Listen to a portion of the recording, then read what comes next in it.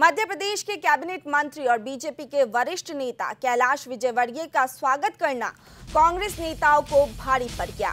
इंदौर के कांग्रेस शहर और ग्रामीण अध्यक्ष को पार्टी ने निलंबित कर दिया है। शहर कांग्रेस अध्यक्ष सुरजीत चड्ढा और ग्रामीण अध्यक्ष सदाशिव यादव को संगठन भारी प्रभारी राजीव सिंह ने नोटिस जारी कर सात दिन के अंदर स्पष्टीकरण मांगा है। प्रदेश उपाध्यक्ष व संगठन प्रभारी ने नोटिस में लिखा कि एक ऐसा व्यक्ति जिसने माँ अहिल्या की नगरी में लोकतांत्रिक मूल्यों की हत्या की, इंदौर की जनता से उनके मत का अधिकार छीनने का कृत्य करके देश और विदेश में इंदौर को शर्मसार किया, जिसकी निंदा इंदौर वासियों ने भी की। ऐसे व्यक्ति का स्वागत सत्कार इंदौर जिला कांग्रेस कमेटी गांधी भवन में करना अनुशासनहीनता की श्रेणी में आता है। आप सात दिन में अपना स्पष्टीकरण दें। इस अवधि में आपको आपके वर्तमान पद से निलंबित किया जाता है।